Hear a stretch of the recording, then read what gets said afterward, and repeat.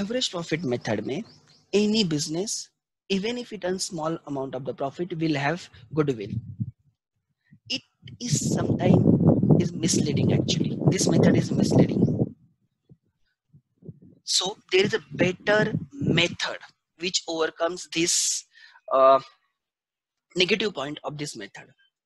Under that method, right, only those businesses which are performing above the average will only have goodwill. Profit तो mandatory है goodwill के लिए but profit होना चाहिए normal से ज़्यादा. व्हाट डू मैं नॉर्मल से ज़्यादा? मैं एक सिंपल एग्जांपल देता हूँ. उस मेथड का नाम है सुपर प्रॉफिट मेथड उसका नाम है सुपर प्रॉफिट मेथड अब मैं आपको एग्जांपल देता हूँ. एक हमारे एक क्लास का एग्जांपल देते सपोज़ अकाउंट्स में हंड्रेड मार्क्स में से ऑन एन एवरेज हमारे क्लास में एग्ज़ाम्पल सेवेंटी मार्क्स आते ऑन एन एवरेज बोल रहा हूँ out of hundred marks seventy marks on an average आते एक सिंपल एग्ज़ाम्पल है। What do you mean by on an average seventy marks आते इसका मतलब यह है कि हमारे क्लास में अगर कोई बच्चा है तो नॉर्मली उसको सेवेंटी मार्क्स मिलेंगे। Does it mean that every students will be exactly scoring 70 marks? No. There will be some students who will be scoring more than 70 marks and at the same time there will be some students who will be scoring less than 70 marks. तो try to understand हम 70 से ज़्यादा जो लाते average से ज़्यादा रहते हम उनको इन लाइक हमको स्कॉलर या टॉपर बोलते we should not distinguish students on the basis of marks but मैं एक जस्ट एग्जांपल दे रहा हूँ समझने के लिए कंसेप्ट सो so, जो एवरेज से ज़्यादा है हम उनको स्कॉलर या उनको टॉपर्स बोलते हैं। एंड जो एवरेज से कम है, हम उनको ढ बोलते हैं मराठी में। समझ में आ रहा है? ऐसे होता नहीं बट एग्ज़ाम्पल है। तो in that case try to understand जो एवरेज से ज़्यादा है, जो एवरेज से ज़्यादा परफॉर्म कर रहे हैं, उनका गुडविल रहेगा और जो एवरेज से नीचे है, उनका गुडविल नहीं रहेगा। Even who at average right उसका भी गुडविल नहीं रहेगा in this method so who are performing better than the average will have goodwill and those who are performing at average or below the average will have no goodwill. तो इसमें एक benchmark हो गया. Average profits are benchmark average से नीचे जिनके profit है, उनका गुडविल नहीं रहेगा. एवरेज से अबो जिनका प्रॉफिट है, उनका गुडविल रहेगा. एवरेज से ज़्यादा प्रॉफिट है. उस प्रॉफिट को हम बोलते हैं सुपर प्रॉफिट उस प्रॉफिट को क्या बोलते हैं? सुपर प्रॉफिट देन, दूसरा मैं एग्जांपल दे सकता हूँ, बहुत फनी एग्जांपल है।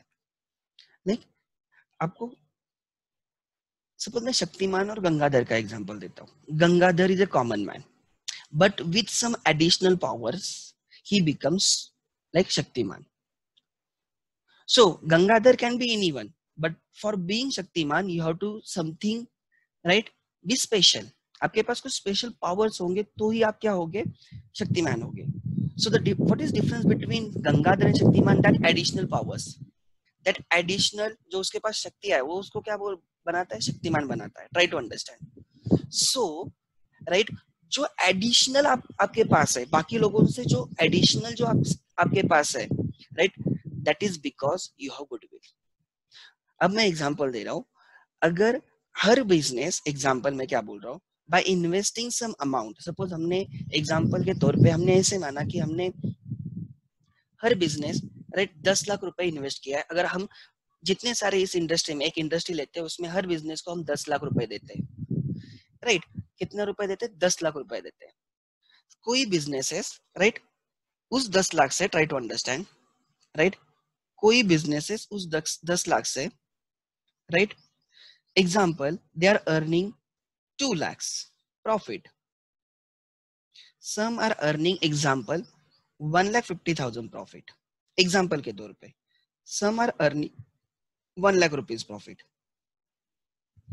with the same capital right हमने सबको same capital दिया है but there is a business suppose business A which is earning 2 lakhs rupees profit business B is earning one lakh fifty thousand profit and business C is earning one lakh rupees profit and suppose हम मानते हैं right अगर हम इसका rate निकालने जाते हैं right try to understand business A is earning 20% of the profit on its investment. How to find out? 2 lakhs is earned using 10 lakhs so it is 20% of 10 lakhs barabar business b is earning 15% of the profit and business c is earning 10% of the profit सबने capital same ही डाला है but everyone is earning some right profits at a different rate now right, suppose if i take, anyone in this industry will be earning 15% of the profit. मैंने क्या माना है? इस industry में जो कोई भी बिज़नेस रहेगा, वो 15 परसेंट तो नॉर्मली कमाता ही कमाता है, इसे पकड़ के चलो। जैसे मैंने बोला कि क्लास में कोई भी एडमिशन लेगा तो 70 मार्क्स वो अकाउंट्स में लाएगा ही लाएगा ऐसे पकड़ के मैंने एग्ज़ाम्पल दिया था। तो इसका मतलब हर एक को सेवेंटी नहीं थे। ऑन सिमिलर बेसिस जब मैं बोल रहा हूँ, इस इंडस्ट्री में जो भी बिज़नेस करेगा, वो फिफ्टीन परसेंट कमाई कमाएगा उसको हम बोलते हैं नॉर्मल रेट ऑफ़ रिटर्न उसको हम बोलते हैं नॉर्मल रेट ऑफ़ रिटर्न ठीक है? उसको और हम डिस्कस करेंगे।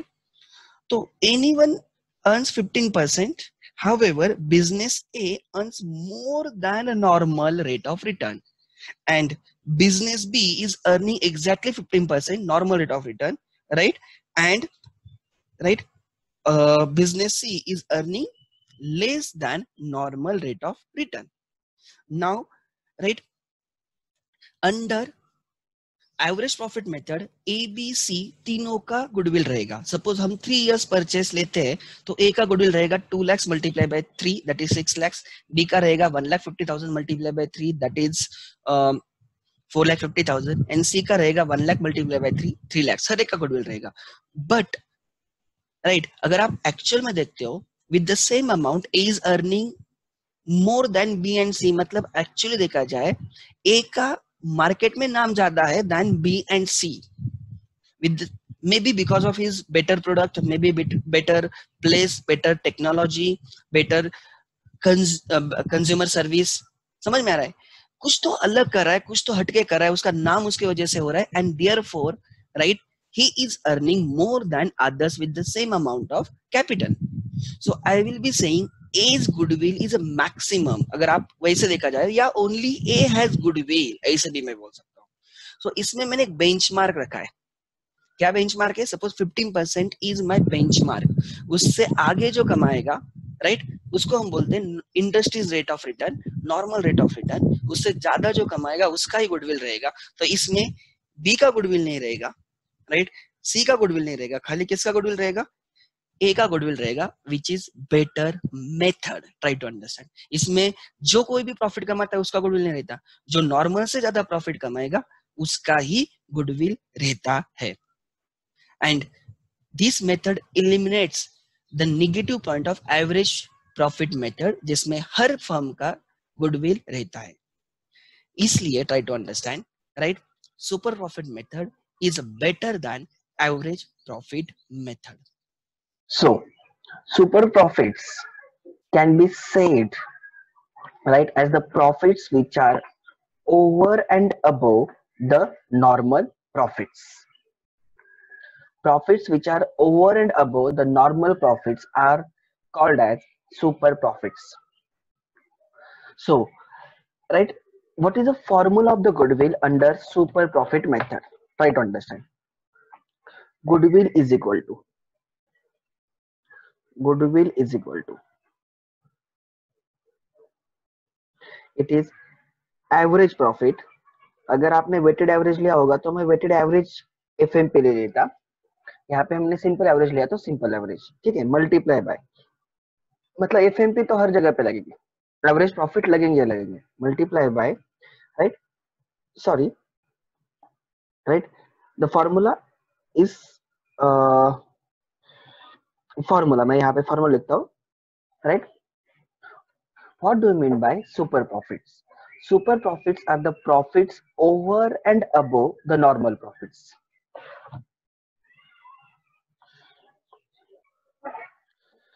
Super profits are the profits over and above the normal profits that a business earns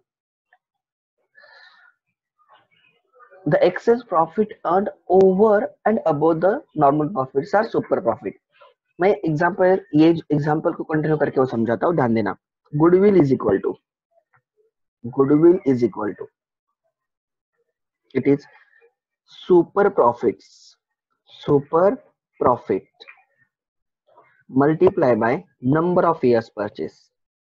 Number of years of purchase. देखो, पहले वाला फॉर्मूला पहली मेथड कौन सी थी? एवरेज प्रॉफिट मेथड थी। उसमें हमने गुडविल कैसे कैलकुलेट किया था? Average profit multiply by number of years of purchase ऐसे हमने गुडविल कैलकुलेट किया था। Average profit multiply by number of years purchase ये फ़र्स्ट मेथड थी, बराबर आपकी। कौन सी?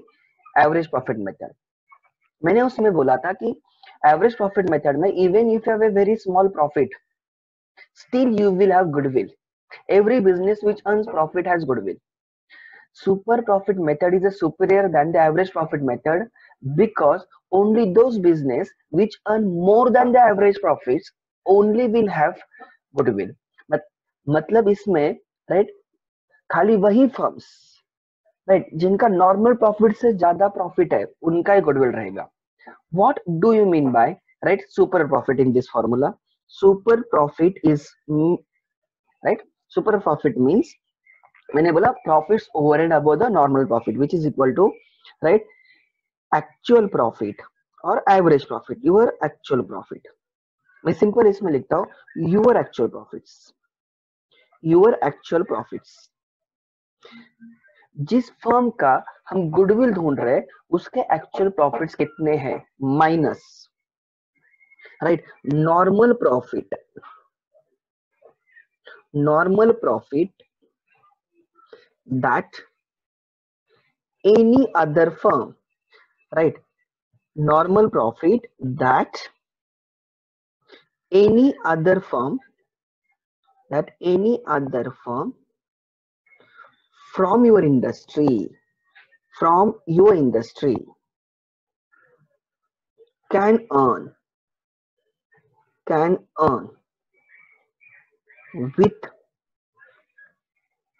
right your capital मैंने थोड़ा से ऐसे लिखा है फॉर्मूला ऐसे नहीं लिखना चाहिए बट मैं समझने के लिए सब इंटरप्रिटेशन समझा रहा हूँ your actual profits we are comparing your actual profits which in this case is 1 lakh 18000 right which are in excess of the profits that any other firm belonging to your industry can earn with the help of your capital मतलब आपने जितना पैसा डाला है business में जितना capital invest किया जितना कैपिटल एम्प्लॉयड आपने किया है उससे आप कमा रहे हो कितने वन लाख एटीन थाउज़ेंड आप कमा रहे हो वन लाख एटीन थाउज़ेंड वही कैपिटल अगर कोई दूसरा बिज़नेस यूज़ करता है तो वो कितना कमाएगा? वो ढूंढो। अगर आप उससे ज़्यादा कमा रहे हो means you are better than that business same capital जो आपके पास है, अगर हम किसी और को देते हैं, हम कितना कमा रहे हैं और वो कितना कमाएगा? अगर हम उससे ज़्यादा कमा रहे हैं, क्यों कमा रहे हैं? बिकॉज़ हम उससे बेटर परफॉर्म करते हैं, हमारा मार्केट में गुडविल है। So right with the same capital जितना हमारा है, उतना अगर हम किसी और को देते हैं तो हम कितना कमाएँगे, वो कितना कमाएगा compare and if you are earning more than him we have goodwill अगर वो हमसे ज़्यादा कमा रहा है तो ही हैज़ अ गुडविल सिंपल है. समझ में आ रहा है? तो इसमें क्या रहे हम, हमारा जो कैपिटल है, वो बेस ले रहे हैं. ऐसे भी हो सकता है कि some businesses are earning more profit because they are invested more उनका कैपिटल ज़्यादा इन्वेस्टेड है than the others obviously there right profit in terms of value right ज़्यादा ही रहेगा। कोई राइट बट हम परसेंटेज में देखना चाहिए। आई एम अर्निंग एग्ज़ाम्पल मैंने जितना कैपिटल डाला है, उस पर मैं ट्वेंटी परसेंट कमाता हूँ। My profit is twenty percent of what I have invested some other, right, earns, suppose 15% of the profit, right, on his investment देखो वॉल्यूम पे वॉल्यूम पे नहीं जाना चाहिए रुपीज़ में नहीं देखना चाहिए परसेंटेज में देखना चाहिए। अगर क्यों परसेंटेज में देखना चाहिए सपोज़ एक बच्चा मुझे बोलता है, सर, मुझे राइट हंड्रेड मार्क्स आ गए। मैं बोलता हुआ कितने अच्छे मार्क्स है। हंड्रेड मार्क्स में मज़ा मैं बोल रहा हूँ टोटल कितने से मिले? वो बोलता है थाउज़ेंड में से हंड्रेड मिले। मतलब कितना यार टेन परसेंट मिले। हंड्रेड पे मत जाओ right hundred out of thousand makes ten percent तो जब मैं परसेंटेज में बात करता हूँ right it makes more sense so don't go on the amount of the profit go on the return कितना परसेंटेज प्रॉफिट कमा रहा है? मैं ट्वेंटी परसेंट कमाता हूँ suppose right with my capital में ट्वेंटी परसेंट कमाता हूँ। वो उसके कैपिटल से सपोज़ फिफ्टीन परसेंट कमाता है। मतलब my earning capacity is more than his that is because of my name in the business that is because of my goodwill in the business so हम compare करते हैं right हम profits में compare नहीं कर रहे हम एक्चुअली देखा जाए परसेंटेज में कंपेयर कर रहे हैं। तो अब हम क्या करने वाले? राइट अब हमारा गुडविल ढूंढ रहे तो हम क्या करेंगे? अगर हम हमारा कैपिटल किसी और को देते हैं तो वो कितना कमाएगा राइट और हम कितना कमा रहे मतलब हम हमारा गुडविल निकालने के लिए, हमारा ही कैपिटल कोई और यूज़ करेगा तो वो कितना कमाएगा? और हम कितना कमा रहे अगर हम उससे ज़्यादा कमा रहे तो मतलब हमारा right we are in a better position we are earning more than the normal profits that anyone can earn using my capital. So now right your actual profits right less normal profit that any other firm from your industry can earn with your capital. So how to find out normal profit? Normal profit can be find found out right? It is your capital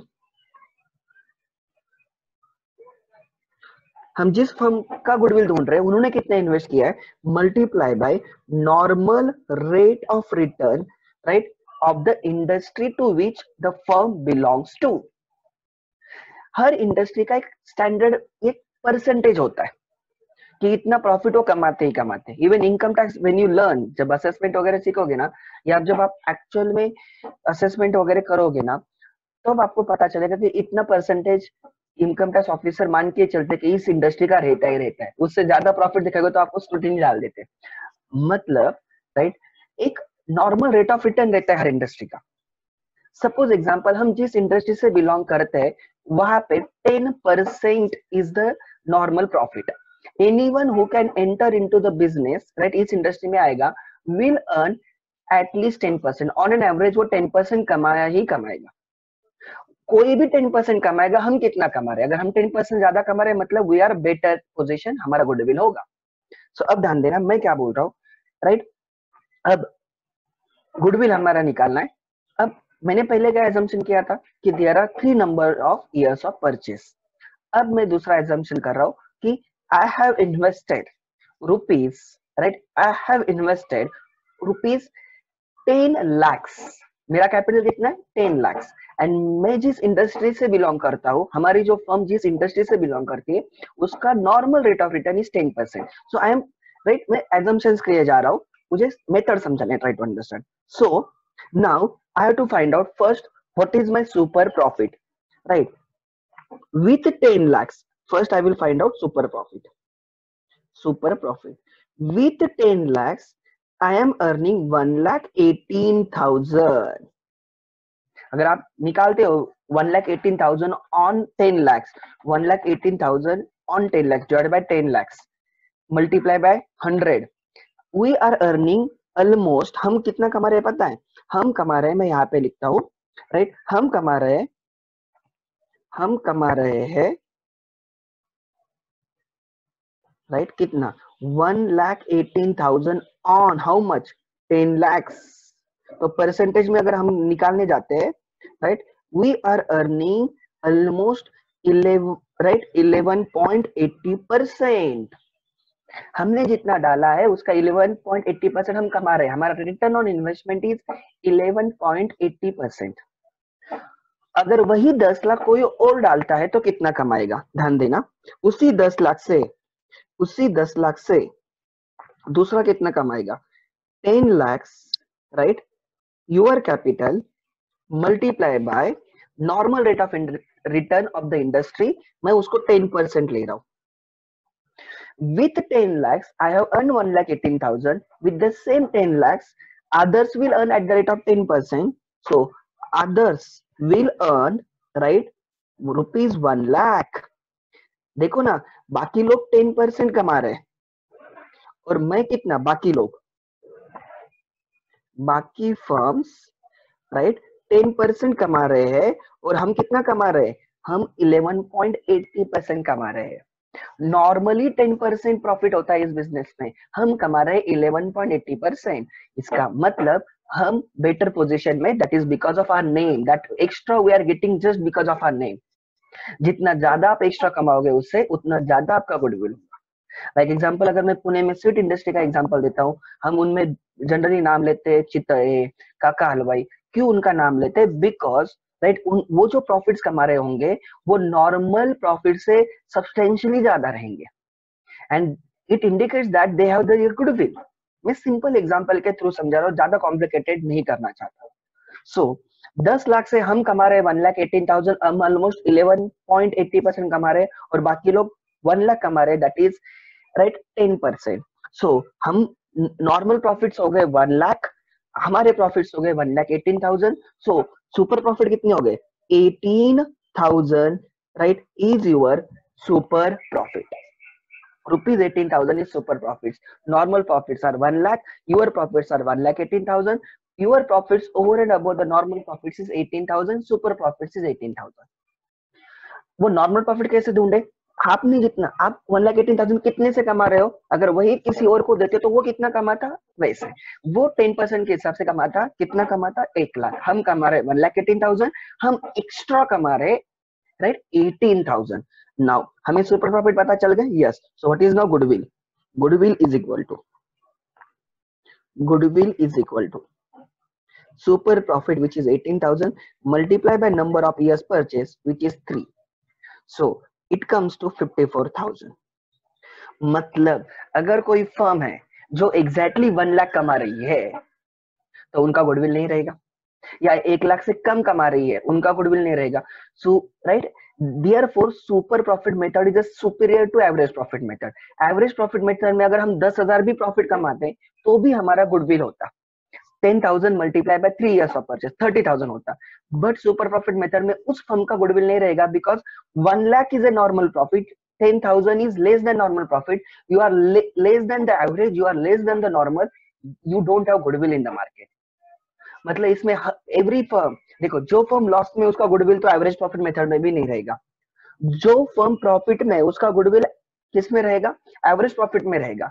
जो firm normal profit से ज़्यादा कमाती है, उसका ही goodwill super profit method में रहेगा।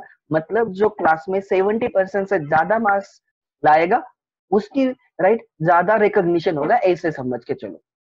Example के तौर पे मैं समझा रहा हूँ। गंगाधर जैसे हर कोई है बट गंगाधर से जो बेटर है, वो है शक्तिमान। मतलब उसमें कुछ तो एक्स्ट्रा है, उसमें सुपर पावर्स है। इसलिए हम उसको शक्तिमान या सुपरमैन लाइक ऐसे हम कैरेक्टर्स बनाए। They are right over and above the normal person and उनका गुडविल है मार्केट में। समझ में आ रहा है? तो सुपर प्रॉफिट मैं फिर से समझाता हूँ। सुपर प्रॉफिट मेथड में goodwill is super profit multiply by number of years of purchase ये जो हम 18000 एक्स्ट्रा कमा रहे हैं it is expected that we will be earning that over next three years so हमारा गुडविल हो गया 54000 the amount of the profit that we can earn amount of the super profit that we can earn over next three years is 54000 that is our goodwill So super profit multiplied by number of years purchase. Super profit is your profit over and above the normal profits earned with the help of your capital.